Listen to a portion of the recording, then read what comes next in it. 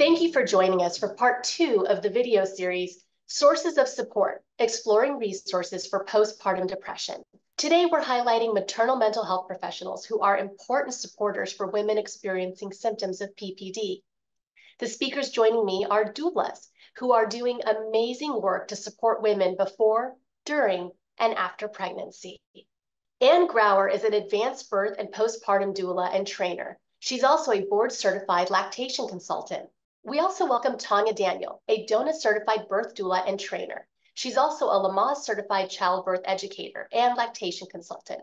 And Dr. Robin Elise Weiss, an advanced certified birth doula and trainer with a certificate in trauma informed care. Thank you all for joining us today. Tanya, let's start with you. Tell us what a doula is and the type of support that they can provide. A doula is a non medical trained professional who is there to be a part of the support team for that uh, childbearing family. We provide uh, informational support, physical support, and emotional support um, during pregnancy, during childbirth, and during that postpartum period.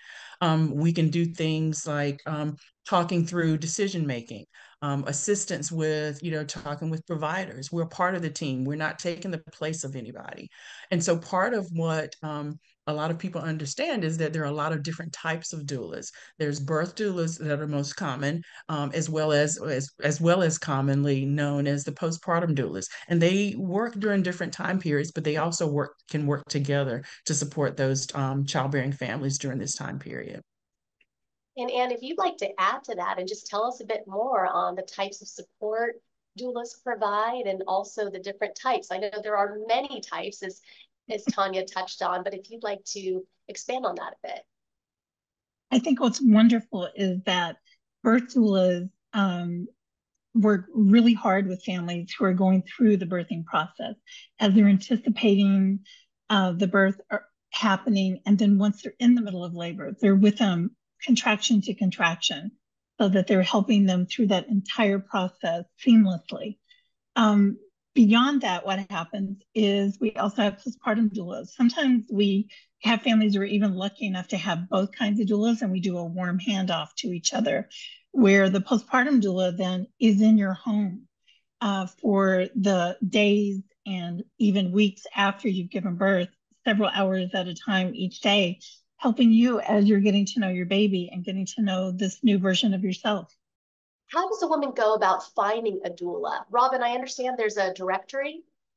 Yes, DONA International, we have been around for 32 years and we have been training doulas ever since, both birth and postpartum doulas. So you can go to dona.org, D O N A.org, to look at a directory to find a doula in your area.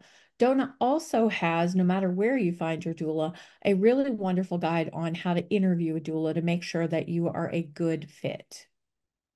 And can you tell us about a hospital-based doula program? I understand that this is a growing trend.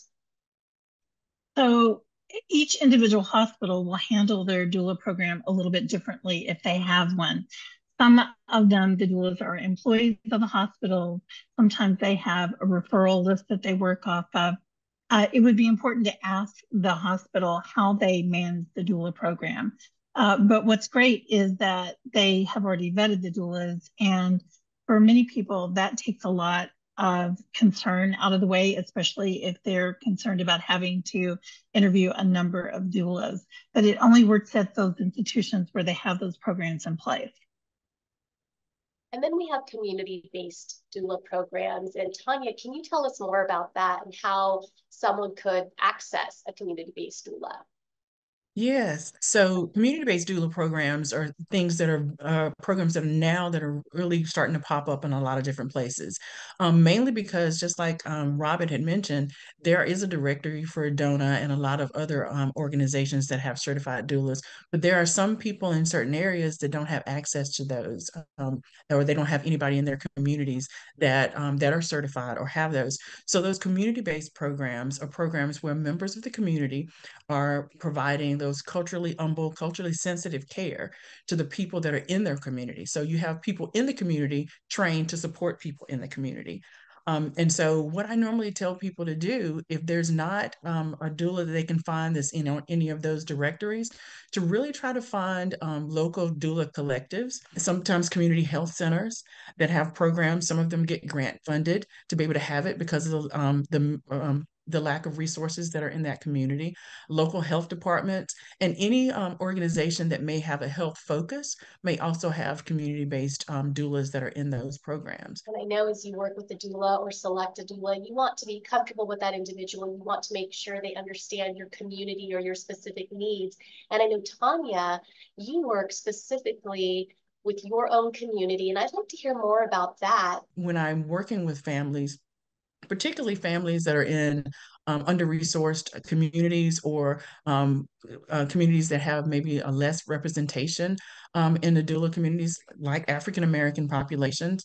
I usually tell them to to look at those organizations that are in there that really know what they're um, the things that they're having to deal with and can be able to draw in those resources and give them information that's culturally relevant to what they're having to deal with.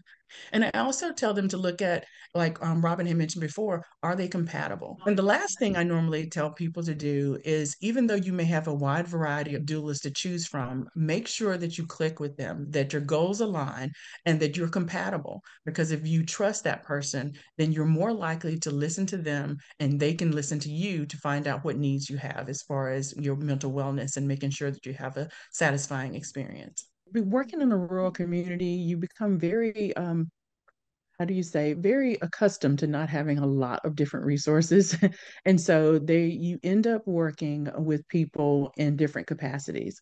And so one of the things that i usually recommend is finding out you know who people are in the community who provide those services who can provide counseling um, but also looking at um, you know in those in those areas you know where you can find um, access to things a lot of times virtually um, whether they're online and things like that, uh, online or support groups, because those may be the only access and, and points that people have.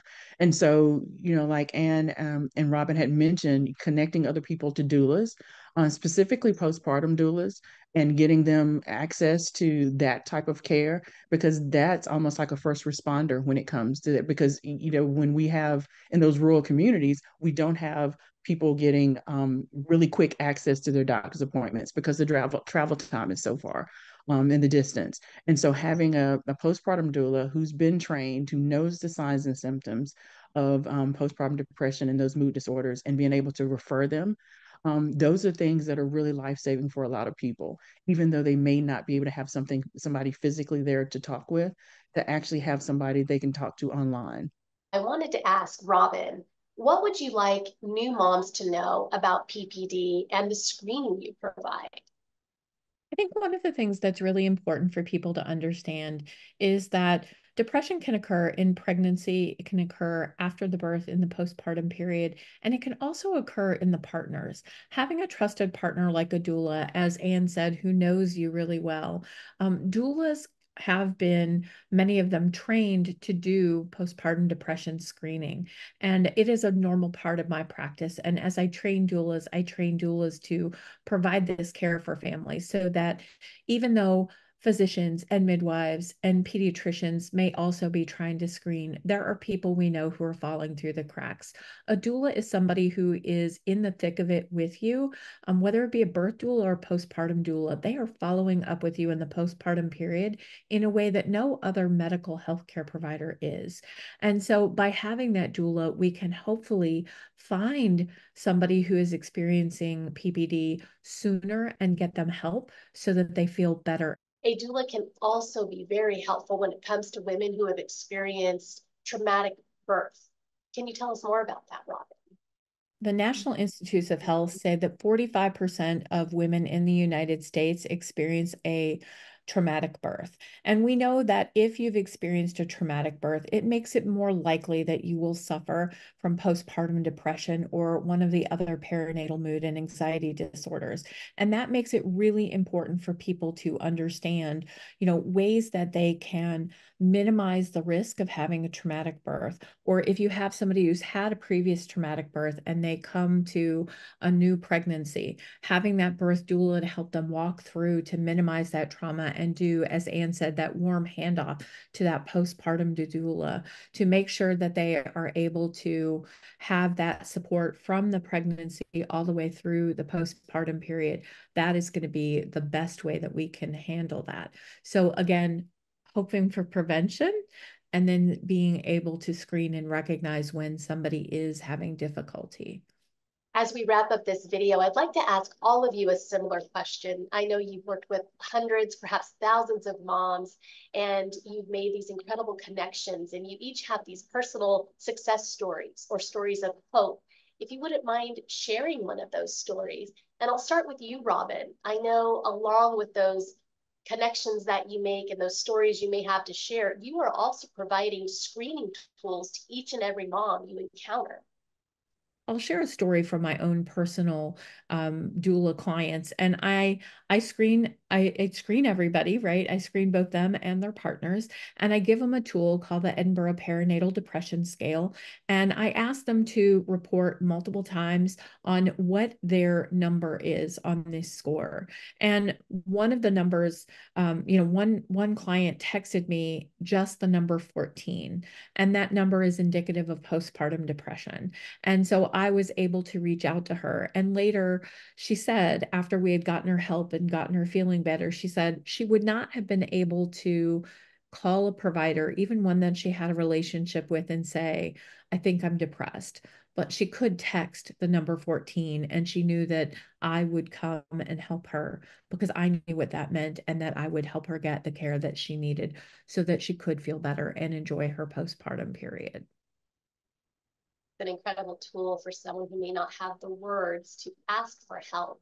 And a similar question for you, Tanya. I know that you're working in, in communities and populations that um, you are specifically connected to. And if you wanted to share a bit about that and where your career is focused. Yeah, exactly. Um, as I've mentioned before, a lot of my work happens in rural communities, and specifically, as dear to my heart, along with Af- African American Black populations. Um, uh, it's no secret that a lot of times when it comes to mental health issues, it still is a stigma and uh, specifically in the populations that I'm in, that you know you don't tell, talk about when you're feeling down. You don't talk about um, when when something's not feeling right. You just kind of push through it. Um, so one of the things that I've done is really making sure that you know normalizing it as is more so of of more so not just saying that it's something that uh, we can still push and sweep under the rug, but more so let's talk about it and making sure people understand what some of the signs and symptoms are. And a lot of times that means looking at their support system, people who are around them, who live with them, who are in their homes, in their schools, in their churches, know those signs as well. So they look at it and saying, okay, this is something that is not normal. This is something that this person needs some help with, and we're going to support this person. So, I'll actually just really making sure that they understand what the signs and symptoms are and teaching them ways of how they can support those families so they can get the, the help that they need and providing those resources. So, a lot of my work has been doing that and really educating not just the particular person that's giving birth or has the has a child, but really talking with the family and the support system to making sure they have a strong foundation to stand on. And similar question for you. Is there a story or a moment that you would like to share? Oh, so many stories come to mind, but I think one of my favorites is a client who, with the birth of her first child and her second child, uh, they had not accessed doula care and she had struggled greatly with postpartum depression and anxiety after both of those births. And um, it took her a long time to recognize what was going on, to be brave enough to seek help. And when she found herself pregnant the third time, she learned somewhere about doulas. So she made certain that she chose a birth doula to help her get ready for this big event that she was concerned about. And um, she said that the the birth doula helped her to feel like she wasn't alone that there was someone in the room who was there just for her no matter what and that she came out of the birth feeling like all of her needs had been met even though not everything was perfect her needs had been met, and that made the difference to her. And then in postpartum, she chose a postpartum doula. And she had several weeks of care in her home where someone was in there to say, This is your time for you and your baby to get to know each other. And we need to make sure that you're getting to do the things that every person needs to be able to do. Make sure you've had a meal, make sure you've slept, make sure you've showered so that you feel like a person still, because you are.